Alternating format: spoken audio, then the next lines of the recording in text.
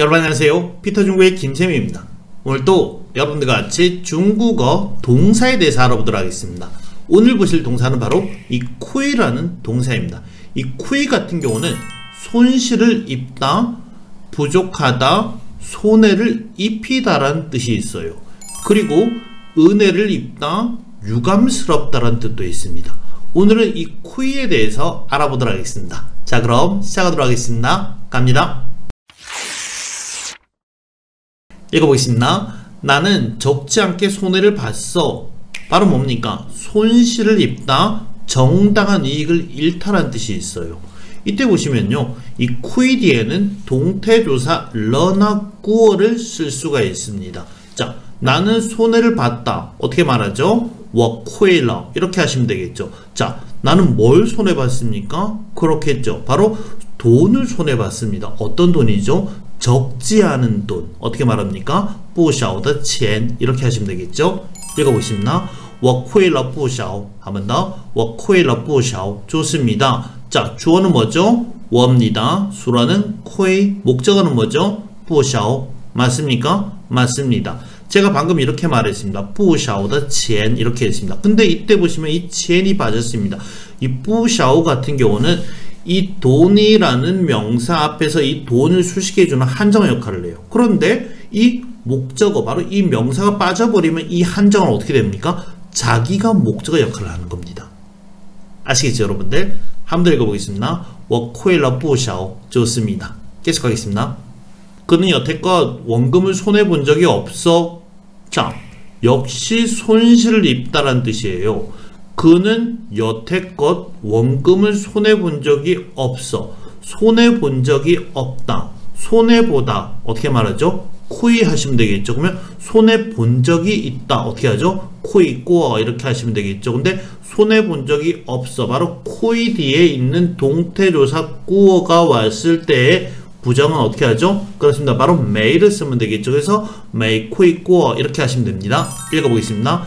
他从来没亏过本 한번 더. 他从来没亏过本 좋습니다. 보시면은 목적으로 번이라는 명사가 왔습니다. 이 번은 무슨 뜻이죠? 그렇죠. 바로 원금 본전이라는 뜻입니다.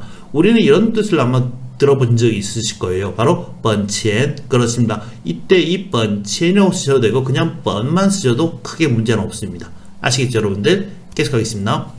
이번에 너무 심하게 손해를 봤어. 역시 손실을 입다라는 뜻입니다. 이번에 손해를 봤어요.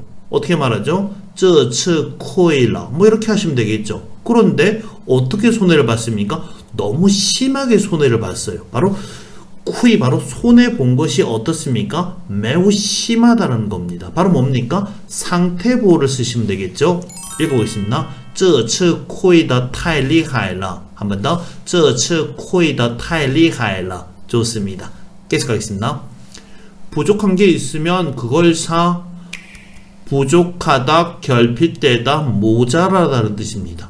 이때 보시면 이 코이 뒤에는 동태조사 러꼬를 쓸 수가 있습니다. 그리고 목적으로는 명사가 올 수도 있어요. 자, 부족한 게 있다. 뭐가 부족하면 그 뭘 사라. 이런 뜻이 되는 겁니다. 뭐가 부족하다. 어떻게 말하죠? 코이 샤마. 그렇죠. 그러면 그걸 사. 바로 뭡니까? 부족한 그걸 사. 그러니까 어떻게 하죠? 买什么. 우리는 배웠습니다. 바로 뭐죠? 의문 대명사의 파생 용법에 보시면은 제가 만든 그 영상에 있습니다. 그거 참고하시면 도움이 되실 것 같으세요, 여러분들. 자, 보시겠습니다. 亏什么就买什么 한번 더. 亏什么就买什么 좋습니다. 이런 식으로 앞에 있는 什么와 뒤에 있는 什么는 다르겠죠. 앞에 있는 이 什么는 모르는 겁니다. 불특정 대상이 되고 뒤에 있는 什么는 뭐죠? 바로 그렇습니다. 바로 앞에서 부족하다고 정해진 그 어떤 것을 가리키는 겁니다. 아시겠죠, 여러분들? 한 번 더 읽어보겠습니다. 코이 셔머, 찌오 마이 셔머. 좋습니다. 계속하겠습니다. 의사는 너가 혈기가 부족하다라고 말했어. 역시 부족하다는 뜻을 가지고 있습니다. 의사는 말했습니다. 어떻게 말하죠? 大夫说 그렇습니다. 그 다음에 너는 혈기가 부족하다. 바로 뭡니까? 이것은 목적어가 되겠죠. 그래서 읽어보겠습니다. 大夫说你气血两亏 한번 더. 大夫说你气血两亏 좋습니다. 보시면은요. 大夫는 바로 뭡니까? 주어가 됩니다. 说는 술어가 되겠죠. 그리고 뒤에 있는 것들은 뭡니까? 목적어입니다. 목적어는 지금 문장이 왔습니다. 그럼 다시 이 목적어에서 주어 찾아보겠습니다. 주어 있습니까? 있죠. 바로 뭡니까? 你입니다. 그럼 술어는 뭘까요? 코이 아니겠죠. 바로 뭐죠? 그렇습니다. 바로 气血两亏라는 이것이 바로 뭡니까? 수로가 되는 겁니다. 자 그럼 이 수로를 다시 주어수로 나눠보겠습니다. 바로 뭐죠? 치쉐는 바로 뭡니까? 주어가 되는 겁니다. 그 다음에 쿠이는 바로 뭐죠? 수로가 되겠죠. 바로 주술술 문장이 이렇게 목적으로 와 있습니다. 한번 더 읽어보겠습니다. 타이프 쇼, 니, 치, 슈에, 량, 쿠이, 좋습니다. 이런 단어는 바로 누가 말할까요? 의사가 말하겠죠. 어떤 의사가 말할까요? 그렇습니다. 바로 중의사, 한사들이 이런 식으로 말을 합니다. 계속하겠습니다. 그는 논리가 부족한 것을 알고는 입을 다물었다. 역시 부족하다, 모자라다는 뜻입니다. 그는 알았어요. 뭘 알았습니까? 논리가 부족하다. 어떻게 말합니까? 그렇죠. 他知道亏了你就闭嘴了。한번 더. 他知道亏了你就闭嘴了. 좋습니다. 이런 식으로 그는 这道뭘 알았습니까? 퀴러리 그렇습니다. 논리가 부족한 것을 알고는 타는 어떻게 했죠? 타주 비주일라 이런 식이 되는 겁니다. 계속하겠습니다.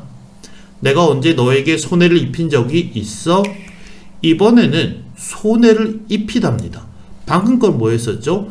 우리는 손실을 입다라는 단어를 봤습니다. 근데 이번에는 뭡니까? 손실을 입히다는 뜻입니다.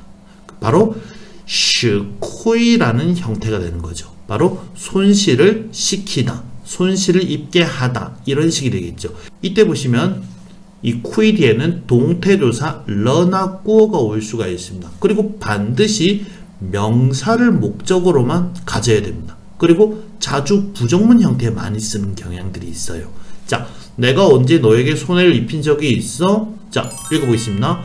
我什么时候亏过你?한 번 더. 我什么时候亏过你? 좋습니다. 내가 언제 너한테 손해 입힌 적이 있어? 이런 식으로 말할 수 있겠죠. 하나 더 보겠습니다. 걱정하지 마. 너에게 손해를 입히지 않을 거야.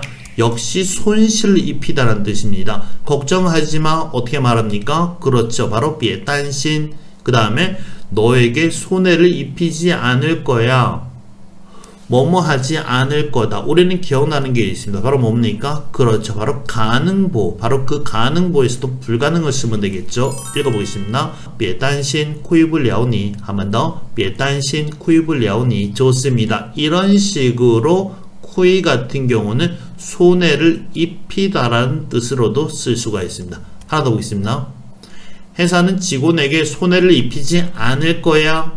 바로 뭡니까? 역시 손해를 입히다는 겁니다. 자, 회사는 직원에게 손해를 입히지 않을 거야. 어떻게 말하면 될까요? 그렇습니다. 공스 쿠일러 웬공 이렇게 하시면 되겠죠. 근데 입히지 않을 거야.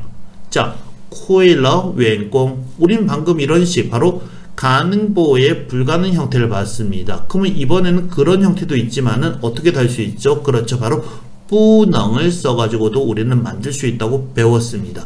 자, 읽어보겠습니다. 공스 부능 코일러 위엔공 한 번 더. 공스 부능 코일러 위엔공 좋습니다. 이런 식으로 이 코일 같은 경우는 손해를 입히다라는 뜻도 있습니다. 자, 이번에는 퀴즈 풀면서 다시 한번 읽어보도록 하겠습니다. 갑니다.